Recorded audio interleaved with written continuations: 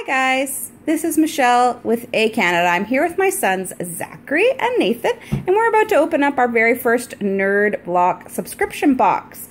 This is the July subscribers Nerd Block Classic box with a theme of Humanity's Last Hope, featuring Buffy the Vampire Slayer, Ghostbusters, and Mad Max. Are you guys ready to dig in? Yes! All right, let's open it up.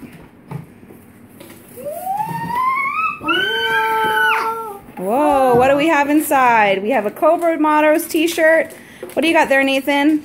We've got a Funko Pop Iron Man keychain. Zachary, what do you have?